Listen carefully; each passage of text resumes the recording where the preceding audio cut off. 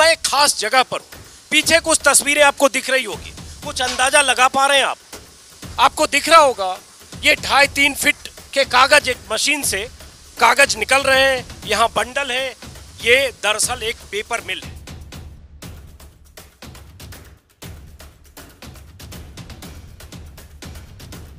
और ये hundred percent waste paper से बना हुआ है। जो वेस्ट पेपर हमारे घरों में से निकलता है, ये उस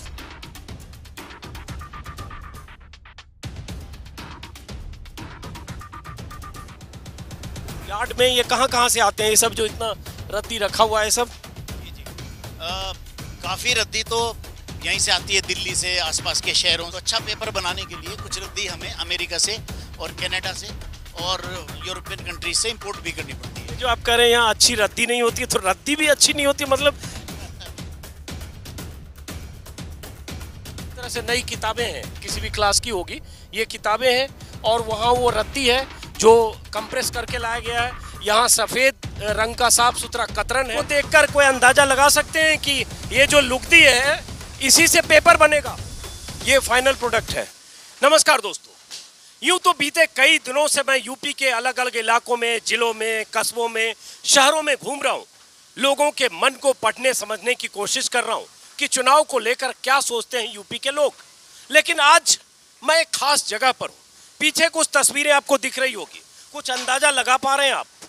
आपको दिख रहा होगा, ये ढाई तीन फिट के कागज़ एक मशीन से कागज़ निकल रहे हैं, यहाँ बंडल है, ये दरअसल एक पेपर मिल है। और मैं यहाँ इसलिए आया हूँ, क्योंकि मैं आज मुजफ्फरनगर में हूँ। पश्चिमी यूपी का एक खास जिला, और मुजफ्फरनगर, वो जिला, वो इलाका है, जहाँ यूपी में जितने पेपर बनते हैं उसके, उसकी सबसे अधिक मिले मुजफ्फरनगर में, कहा जाता है करीब 30-32 पेपर मिले। देश में जितने पेपर का उत्पादन होता है, कागज़ का, उसका करीब 8 से 10 फ़ीसदी उत्पादन मुजफ्फरनगर में होता है। कहा जाता है 15 लाख से 20 लाख टन पेपर का प्रोडक्शन मुजफ्फरनगर में होता है कागज़ का। तो मैं यहाँ यहाँ यही देखने के लिए आया कि कैसे ये पेपर मिल चलता है इस मिल में कैसे कागज़ तैयार होता है? अलग अलग तरह के कागज़ होते हैं। जैसे ये कागज़ जो मुझे बताया गया, बाकी मैं इस मिल के ऑनर से भी आपकी आपकी बात कराऊँगा। जैसे ये कागज़, इसका इस्तेमाल जो दवा के डब्बे होते हैं, मिठाई के डब्बे होते हैं, या अलग अलग तरह की पैकिंग होती है, उसमें इस्तेमाल होता है। और ये एक लंबा सौ मीटर या पचास पचहत्तर मीटर लंबा ये मिल है और इसमें किस प्रोसेस से ये पेपर बनता है, ये मैं आपको दिखाऊँगा। मेरे लिए भी दिलचस्प है, पहला तजुर्बा है। पहली बार मैं भी किसी पेपर मिल में आया और चुनाव के दौरान गली, शहर, नुक्कड़ भटकते हुए लगा। ये भी साथ साथ आप देखें कि उस शहर की खासियत क्या है, पहचान क्या है। जैसे सहारनपुर में आपको मैंने फर्नीचर मार्केट दिखाया, वो नक्काशी दिखाई। मुजफ्फरनगर आए स्टील और पेपर की बात ना हो, ये हो नहीं सकता। इसलिए मेरे साथ जरा देखिए कि कैसे पेपर कैसे ये कागज़ बनता है। रद्दी से बनता है कई तरह की कहानियाँ बाँस से बनता है कुछ लोग कहते हैं इसे लकड़ी का कटान होता है तो कैसे बनता है? उसको भी समझेंगे और साथ में पूरा प्रोसेस भी देखेंगे। यहाँ से वहाँ तक बहुत लंबी अ, मतलब इस मिल की लंबाई कितनी है? लंबाई इस मिल की? लंबाई इस मशीन की लंबाई लगभग डेढ़ सौ मीटर है। डेढ़ सौ मीटर है। और ये जिनसे आप मुखातिब हैं इनका नाम है पंकज अग्रवाल। पंकज अग्रवाल जी। और ये मिल पेपर मिल के ऑनर हैं। मिल का क्या नाम है? बिंदलास डुप्लेक्स लिमिटेड हमारी मिल का नाम है और मैं मैनेजिंग डायरेक्टर हूँ इस मिल का। तो एमडी साहब हैं अब इनके साथ जरा हम इस पेपर के प्रोसेस को समझेंगे। ये फाइनल प्रोडक्ट है। ये फाइनल प्रोडक्ट से हम चलेंगे कि कैसे ये बन रहा है। वहाँ से लेकर यहाँ तक सवा सौ मीटर लंबी अगर ये मिल है तो यहाँ तक कैसे आता है? पहले इस पेपर के बारे में थोड़ा बताइए ताकि दर्शकों को पता चले क्या है ये। ये डुप्लेक्स बोर्ड है। इसमें सात लेयर से बना होता है ये, और ऊपर इसमें दो लेयर कोटिंग की होती हैं। तो इसमें फ़ोटो प्रिंटिंग क्वालिटी आ जाती है। आपने देखा हो टॉर्च के डब्बे होते हैं, मिठाई के डब्बे हैं, साड़ी के डब्बे हैं, और मेडिसिन बॉक्स हैं, और मोबाइल बॉक्स हैं। उसमें सब में ये बहुत काम आता है। और ये हंड्रेड परसेंट वेस्ट पेपर से बना हुआ है। जो वेस्ट पेपर हमारे घरों में से निकलता है, ये उससे बना हुआ है। तो हंड्रेड परसेंट एनवायरमेंट फ्रेंडली है। और वेस्ट पेपर मतलब घरों में से निकलता है मतलब अखबार वगैरह जो रद्दी निकलता है या जो बैग पेपर बैग कुछ भी? जी जी अखबार है और और किसी भी तरह की रद्दी है बुक्स हैं चिल्ड्रन बुक्स हैं और एग्जामिनेशन कॉपी हैं बच्चे जिन कॉपी पे लिखते हैं वो है। तो मतलब जो कबाड़ी वाला जो ले जाता है हम लोगों के यहाँ से रद्दी कागज़ या पुरानी किताबें कॉपियाँ उन सबसे ही बनता है। बिल्कुल तो उसी लोग सुनते आए कि बाँस से बनता है लकड़ी कट जाती है वो यहाँ लकड़ी और बाँस वाला नहीं है? नहीं, देखिए, ये बहुत बड़ा मिथ है। हिंदुस्तान में करीब बयासी परसेंट पेपर वेस्ट पेपर से बनता है। बाकी आठ परसेंट के करीब खोई और भूसे से बनता है। दस परसेंट लकड़ी से बनता है। वो लकड़ी भी फॉरेस्ट वुड नहीं है। वो लकड़ी भी एग्रो वुड है जैसे यूकलिप्टिस या पॉपुलर बाँस से हिंदुस्तान में एक आध मशीनें हैं उधर अमलाई में, वहाँ बनता है। अदरवाइज़ तो बहुत ही पॉइंटों के अंदर आएगा। एक परसेंट से भी कम पेपर बाँस से बनता है। बड़ा इंटरेस्टिंग बता रहे हैं। अब ये जैसे ये फाइनल प्रोडक्ट है जो वहाँ से यहाँ से कितने दूर से चला आ रहा है बनता हुआ जो यहाँ इस शेप में आ रहा है या रोल बीच में है वहाँ से कटिंग हो रहा है? जी लगभग डेढ़ सौ मीटर लंबाई हमारी मशीन की है और मिल तो हमारी तीस एकड़ के करीब में है।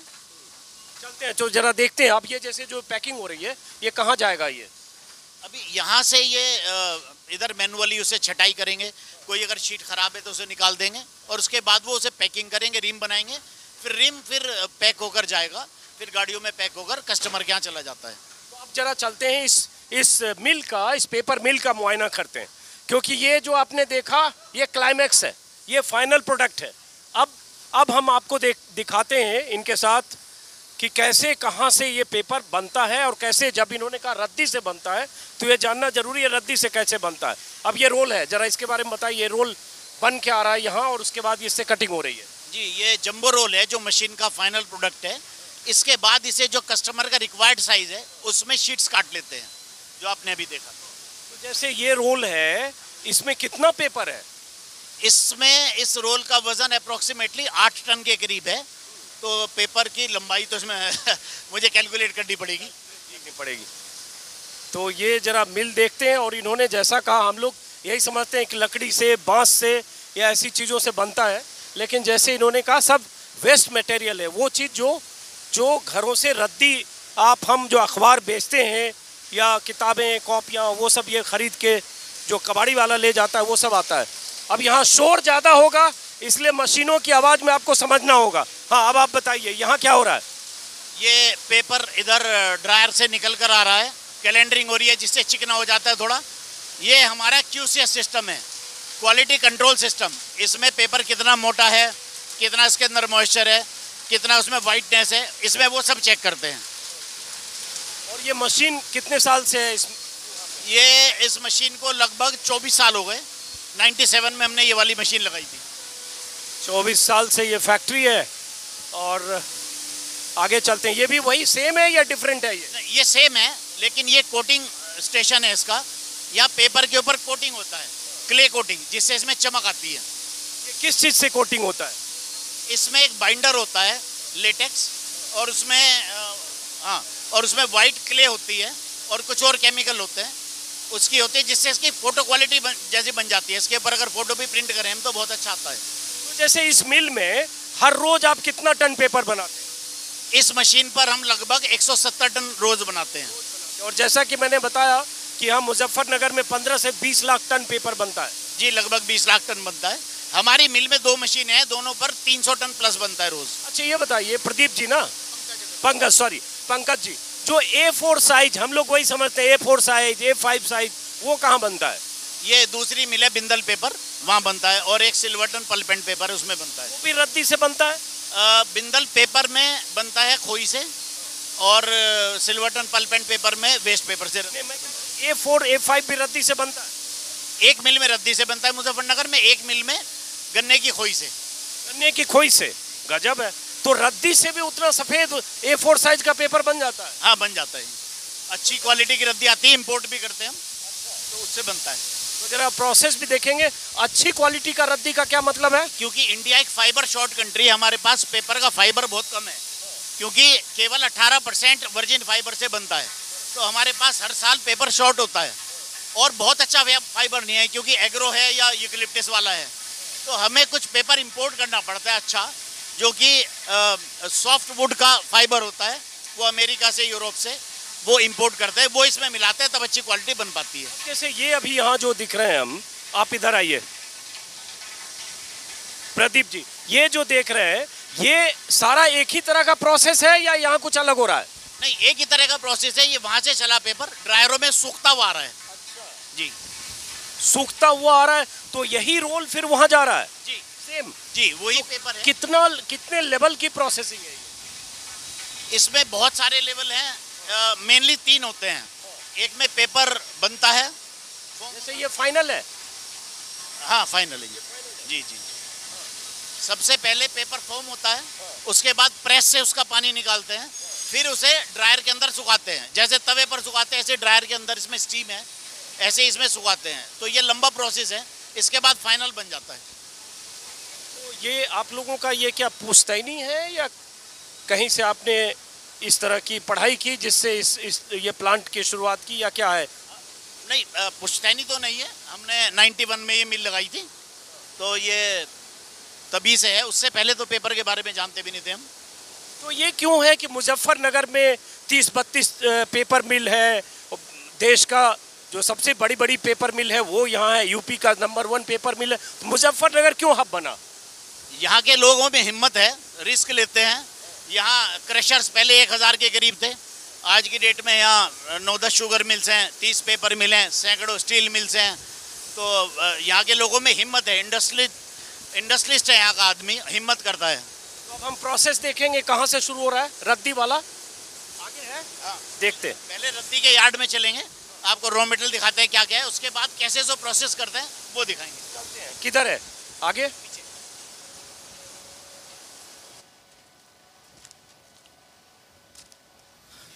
अब जैसे हम रद्दी के यार्ड में आ गए जहाँ से ये पेपर का प्रोडक्शन यहीं से शुरू होता है। मतलब ये शुरुआत है।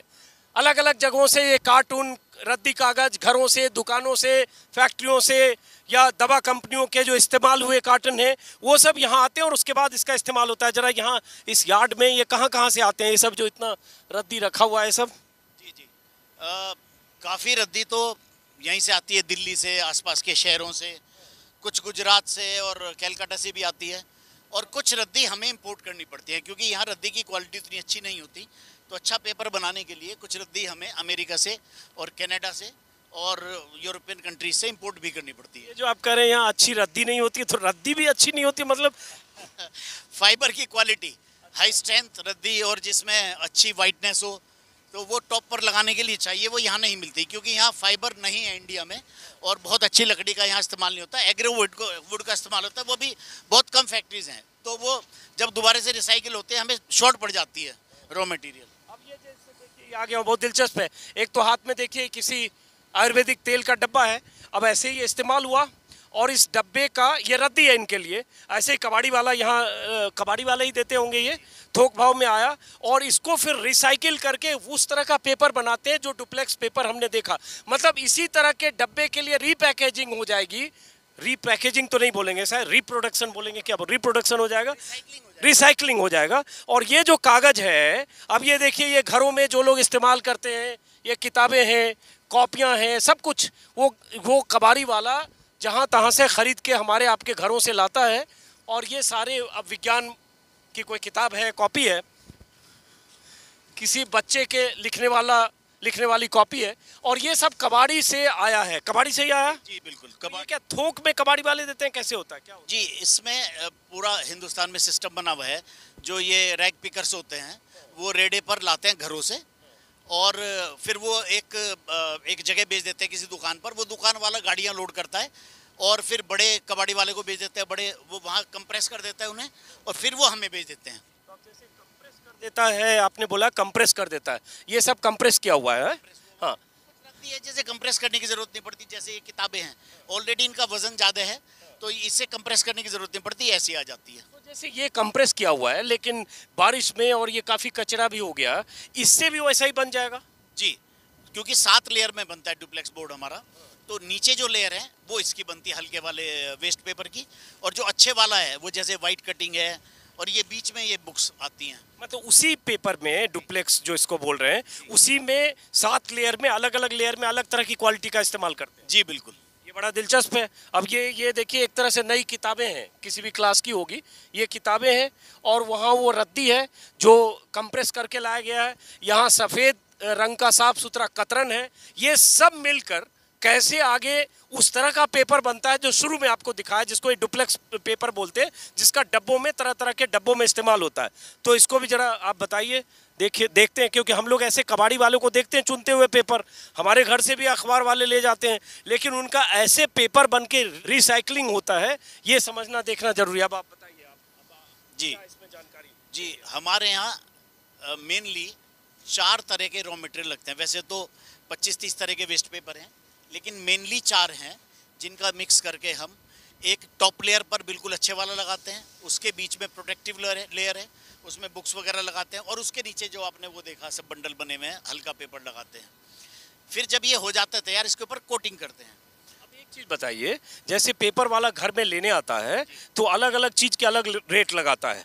इस तरह का मोटा कुछ होगा, उसका अलग रेट होगा। अब यहाँ मैं कोई कोई किताब देख रहा हूँ। ये किताब है, देखिए, नॉवल है तो अब ये अलग रेट होगा तो ये रेट क्यों अलग होता है? क्या यहाँ उससे फ़र्क पड़ता है? जी, एक तो क्योंकि इसके अंदर कितनी वाइटनेस है।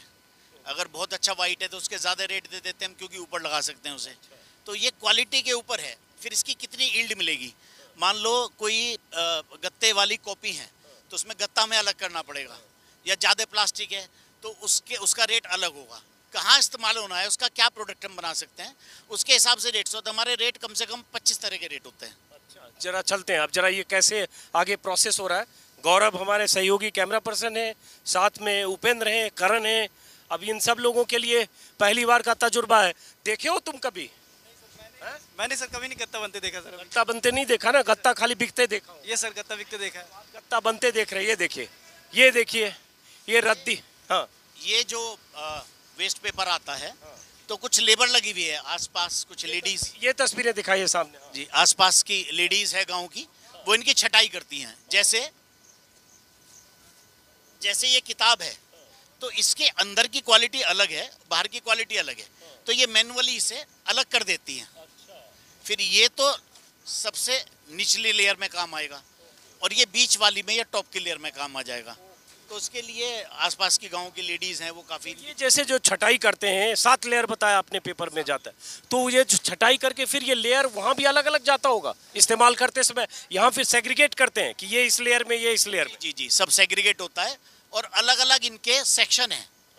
जैसे चार सेक्शन है चार में एक अलग है दूसरा अलग है और बाकी बॉटम लेयर का अलग है और तीन एक में जाते हैं। तीन रॉ मटेरियल एक रॉ मटेरियल तीन में जाता है। तो देखिए, आपके लिए दिलचस्प तो होगा ना। आप चुनाव देखते हुए नेताओं के बारे में, बीजेपी के बारे में, कांग्रेस के बारे में, कौन हारेगा, कौन जीतेगा, जातीय समीकरण, उससे बिल्कुल अलग है। मेरे लिए भी तजुर्बा है। मेरे जो कैमरा पर्सन है, मेरे से आधी उम्र से भी कम के, उनके लिए तो एक्सपीरियंस है ही। और उपेंद्र, जो हमारे रिसर्च सहयोगी हैं, उनके लिए भी एक्सपीरियंस है। इसलिए मुझे लगा, चलिए देखते जी? हाँ ये छटाई कर रहे हैं। हाँ तो ये लोग वैसे जैसे पंकज जी ने बताया, ये लोग छटाई कर रहे हैं पेपर के अब आगे चलते हैं? थोड़ा ये दवा का इस्तेमाल तो नहीं होता इसमें के मुझे लगा दवा भी दे देते हैं। आगे चलते हैं।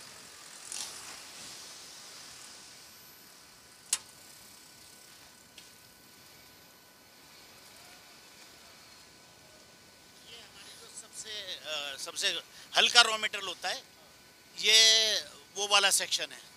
ये बॉटम में लगता है। बॉटम में और बीच में। इसमें स्मेल बहुत ज़्यादा है। गंदा पेपर भी होगा थोड़ा बारिश पानी ये सब। जी जी। बारिश की वजह से थोड़ा स्मेल आ जाती है। अगर एक तरह से देखें तो पेपर मिल बहुत ज़्यादा एनवायरनमेंट फ्रेंडली है क्योंकि ये पेपर अगर पेपर मिलें इस्तेमाल ना करें तो ये एनवायरनमेंट को ही ख़राब करेंगे। कहीं सड़क पे पड़ा होगा कहीं नाली में पड़ा होगा। तो इसका वैल्यू बन जाता है पेपर का। बहुत अहम बात इन्होंने कही। ये सही है कि आप सड़कों के किनारे या घरों के किनारे, अपार्टमेंट के बाहर कहीं भी ऐसे रद्दी फेंके हुए अगर रह गए तो समझो वो कितना कबाड़ा वहाँ जमा होता है। उसी का इस्तेमाल करके और ये रिसाइकिल करके ऐसा पेपर बनाते हैं जो फिर हमारे आपके घरों में वापस आता है। वो एक बड़ी भूमिका है पेपर मिल्स की।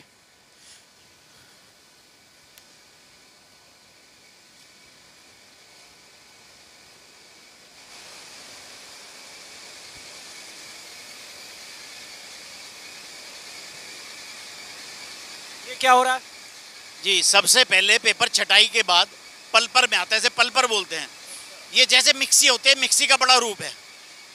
तो एक तरफ़ से पानी रिसाइकिल्ड वाटर आता है। ये सारा पानी हम दोबारा रिसाइकिल करते हैं। और एक तरफ़ से पेपर आता रहता है इसमें। अरे चलाइए। इसमें जाता है नीचे।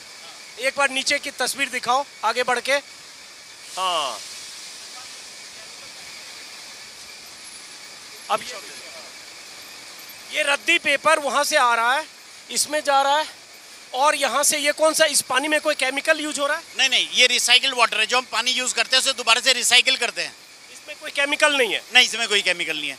ये इसकी लुगदी बन आप इसमें देखिए लुगदी बन जाती है इसमें। तो ये इसका पर्पज सिर्फ़ ये उसको धुलाई करना? लुगदी बनाना पेपर और पानी को मिलाकर उसकी पल्प बनाना। इसके बाद ये क्लीनिंग करते हैं पल्प की।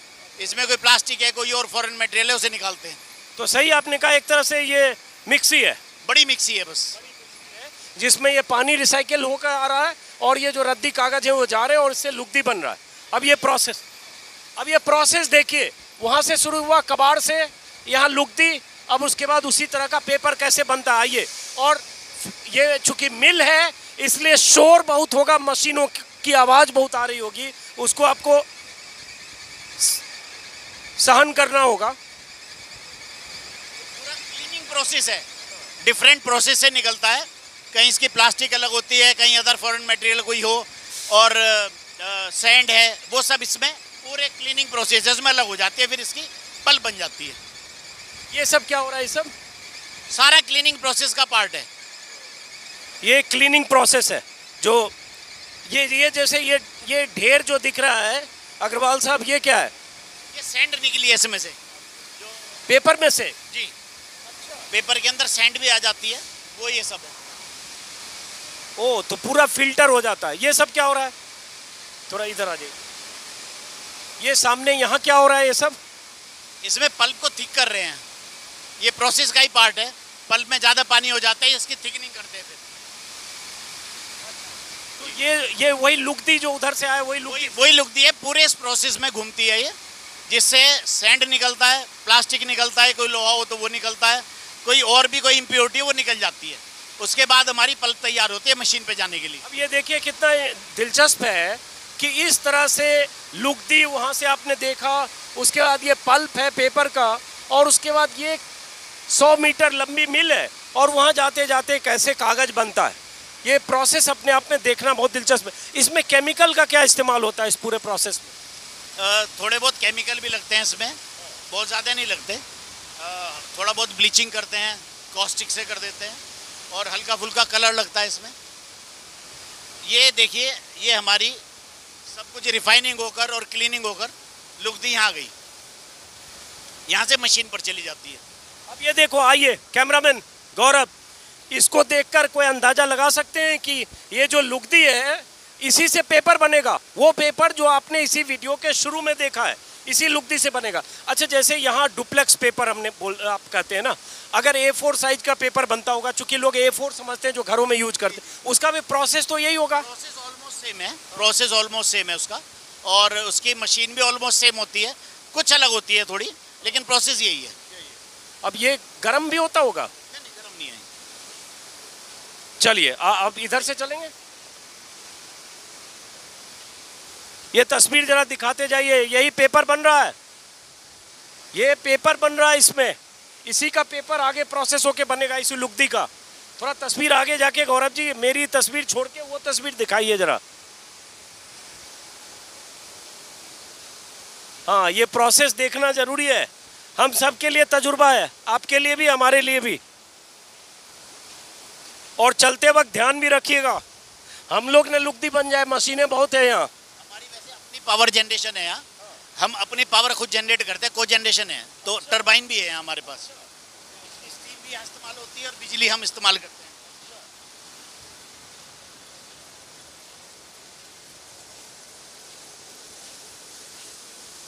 अब वहाँ से ये हमारे पास सात फॉर्मर्स हैं। इसमें पेपर फॉर्म होता है और एक दूसरी लेयर में जुड़ जाता है। फिर ये मशीन पर जाता है। ये फॉर्मर है। वो जो लुगदी उधर अभी हमने देखा वो लुगदी पेपर के फॉर्म में यहाँ पे पेपर बनाता है। जी ये फॉर्मर है इनमें आती है। यहाँ से पेपर फॉर्म होता है और एक दूसरे के ऊपर लेयर चिपक जाती है फिर इस फेल्ट के थ्रू मशीन में जाती है। अब ये जैसे इन्होंने बताया अग्रवाल साहब ने कि सात लेयर में वो पेपर तैयार होता है उसके पहले जब पेपर पेपर फॉर्मर बोलते हैं वही पेपर बनना। तो मैं मेरे दिमाग में दिलचस्पी है कि वहाँ जैसे आपने बताया, ये थोड़ा ख़राब पेपर है, ये सफ़ेद पेपर है, ये रद्दी पेपर है तो यहाँ वो लेयर कैसे बन रहा होगा? सब अलग अलग लेयर। अलग अलग तरह की क्वालिटी के। जी जी। अलग अलग क्वालिटी के वेस्ट पेपर के लिए अलग अलग फॉर्मर हैं। तो जो वाइट वाला है बिल्कुल, वो एक फॉर्मर में आता है। सेकंड नंबर में थोड़ा कम वाइट आता है। बाकी में हल्के वाला आता है। तो वो सब एक दूसरे के ऊपर चिपक जाते हैं इसमें। पेपर फॉर्म होकर चिपक जाते हैं फिर ये मशीन में चला जाता है। चलिए देखते हैं। बड़ा दिलचस्प है। अब ये पेपर फॉर्म हो गया। वहाँ से पेपर आ गया। अब प्रेस सेक्शन में जाता है। हमारे पास चार प्रेस हैं। प्रेस से पानी निकलता है स्क्वीज करके दो रोल्स के बीच में ये पानी निकलता है। इसके बाद ड्रायर में ड्राई होता है। ये पानी ऐसे ही पानी है या इसमें कुछ केमिकल है? थोड़े बहुत केमिकल तो होते हैं इसमें हल्के फुल्के क्योंकि वेस्ट पेपर बेसिस में ज़्यादा केमिकल नहीं होते। इसी पानी को रिसाइकिल कर लेते हैं। आपने देखा होगा थोड़ा गंदा सा पानी वहाँ पलपर में था वो यही सब पानी है। तो आप पानी भी रिसाइकिल कर रहे हैं पेपर भी रिसाइकिल कर रहे हैं पावर अपना खुद जनरेट कर रहे हैं। तो आत्मनिर्भर है दरअसल आप। जी जी जी आत्मनिर्भर है अभी। ये ऐसे यही रोल बन के आता है। जो पीछे जहाँ से शुरू किया यही रोल है।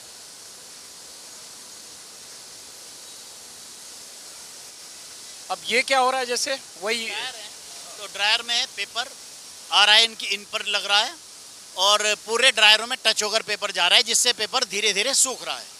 तो इसमें कभी ऐसा भी होता है कि ये पेपर चूँकि ऐसे लाइनिंग में पूरा पेपर है रोल है तो टूट गया पाँच दस फट गया? कभी कभी टूट जाता है किसी कमी की वजह से। उसमें फिर 10-15 मिनट लगते हैं हमें दोबारा से पेपर को चढ़ा में। सारा चीज़ ऑटोमेटेड है। वहाँ से अपने आप ये रोल बनता हुआ सब जा रहा है। जी जी। बिल्कुल बिल्कुल। अच्छा अब ये क्या ये ये ब्लू क्यों दिख रहा है? ब्लू या कलर क्यों दिख रहा है ये? ये ड्रायर स्क्रीन बोलते हैं इसे। तो इससे पेपर लगकर चलता है। इसलिए आगे बढ़ाने के लिए इसकी ज़रूरत होती है।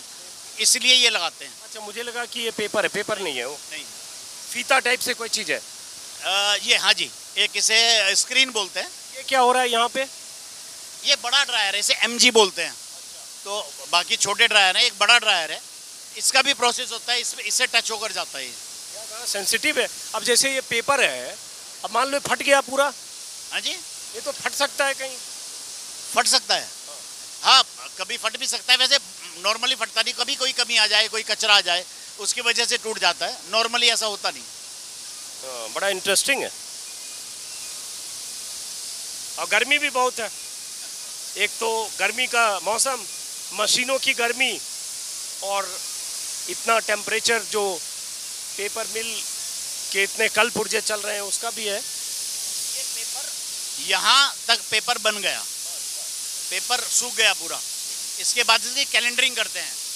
कैलेंडर जैसे प्रेस करते हैं, जैसे कपड़े पे प्रेस करते हैं, ऐसे इस पर कैलेंडरिंग करते हैं। उसके बाद ये कोटर है, जिसमें केमिकल कोटिंग होती है, जिससे पेपर के ऊपर चमक आती है बोर्ड के ऊपर। और फ़ोटो क्वालिटी पेपर बन जाता है। तो जो अभी चिकना पेपर जो दिखा आगे जो फाइनल प्रोडक्ट दिखा वो कोटिंग यही होती है। हाँ सारी कोटिंग यही होती है। हमारे पास टॉप लेयर पे करने के लिए दो कोटर हैं और एक बैक में करने के लिए जो जैसे कोटिंग करते हैं वो कोई केमिकल होता होगा? हाँ जी केमिकल है। लेटेक्स बाइंडर होता है और उसमें कुछ पाउडर होता है वो भी मिलाते हैं। जी बिल्कुल ये पेपर है। हम लोग पहले बिहार में इसको कार्डबोर्ड भी शायद इसी को बोलते हैं क्या? कई तरह के पेंटिंग वेंटिंग में या स्कूल में बच्चे इस्तेमाल कर थोड़ा अलग इससे पतला होता है हाँ जी हाँ जी। आपके यहाँ जितने पेपर है सब वाइट है। वाइट ही बनता है। ये हाँ हाँ इसकी टॉप लेयर वाइट होती है और बॉटम लेयर इसकी ग्रे होती है। तो कैसा लगा? कैसा अनुभव आपका है? ज़रूर मुझे मेल करिएगा।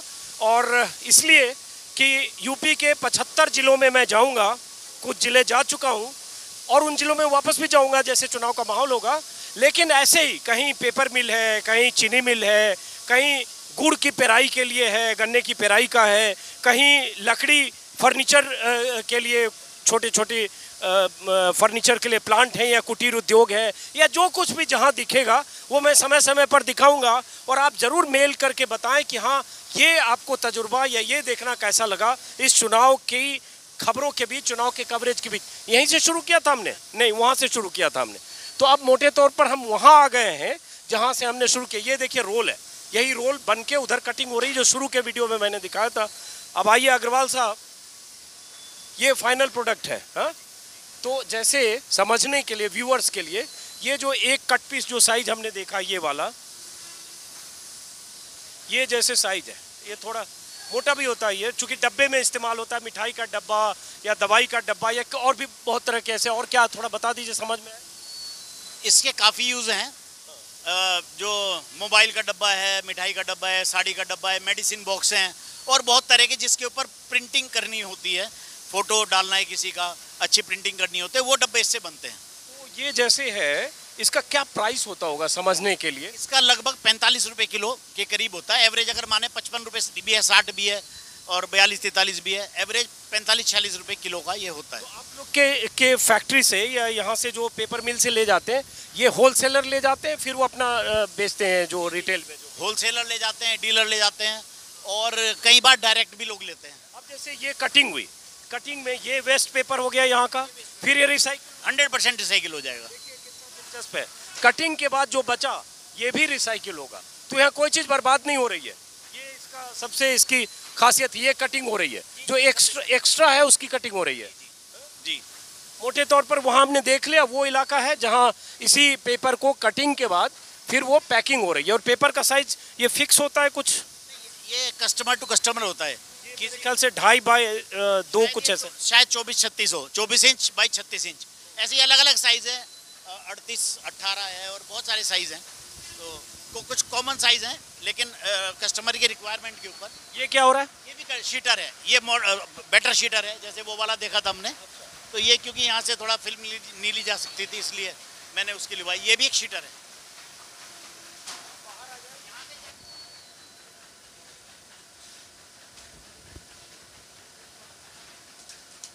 ये जैसे जो दिख रहा है ये क्या है? ये यहाँ बना है या क्या आया है? ये तो गत्ते उत्ते की पैकिंग में कहीं इस्तेमाल होता है। जी।